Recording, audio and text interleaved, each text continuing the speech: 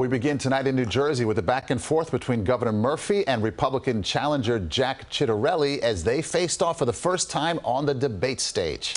The governor is trying to become the first Democrat to win a second term in the state in more than four decades. CBS 2's Jessica Layton joins us from Newark with more.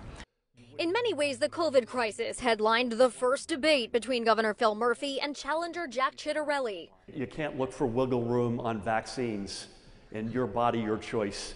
You can't ignore the science as it relates to masking. I encourage people to get vaccinated. Do I believe that government has a right to tell people they have to take a medicine? No, I don't. And there were plenty of moments when the tone wasn't productive on either side. We're still digging out of the damage that, that Trump did in terms of masking and making it political. If those watching at home are playing that drinking game where you got to take a shot every time you hear Trump, I suggest they stop real soon because they're going to be bombed real soon.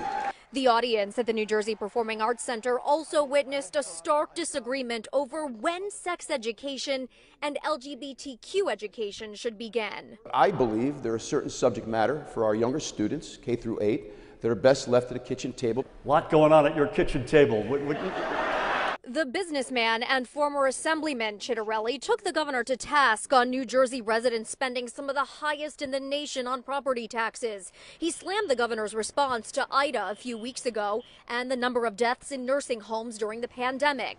There was also serious discussion on systemic racism. The media tried to clarify Ciattarelli's controversial stance in the spin room after the debate. I don't believe we should be teaching students that white people perpetuate systemic racism or that the white student is the oppressor or the black and brown student is the, uh, the oppressed. When pressed to say something nice about the other, Murphy said Ciattarelli is a good husband and father.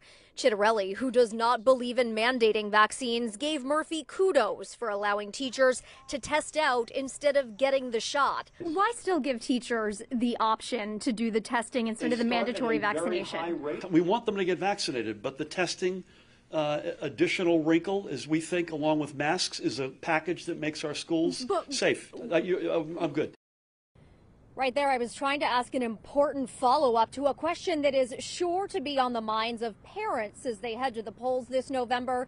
The governor's office said they would get me a more substantial answer sometime today. Also, I asked both candidates who won the debate. Ciattarelli said that's up to the people of New Jersey. Governor Murphy said there's no question it was yours truly. Reporting from Newark, Jessica Layton, CBS 2 News.